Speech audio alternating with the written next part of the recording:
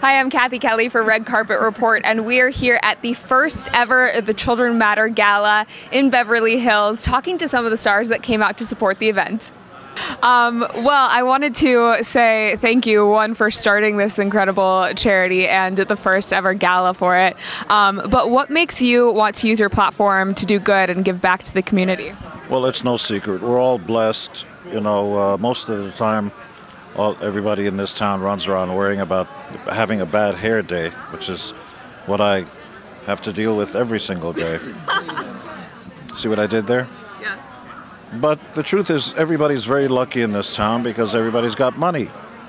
And I'm sorry, you can't keep it all. There are children around the world who, just with the luck of the draw, are born in the wrong place at the wrong time, don't have enough food, have bad health care, and so on. And it's the least everybody can do. So, having a party like this with all the beautiful people and all that, trust me, I'm going to get in there and take all their money and give it to the kids who need it. I'm not shy at all. And that's what it's about. The childrenmatter.ngo. Do yourself a favor, get on there, contribute money. I was going to say it doesn't matter how much, but it does matter. Give more than not because I'm going to find out where you live if you don't. And find out their bank account numbers too while you're at it. I said it. well, thank you so much. It was a pleasure to talk to me.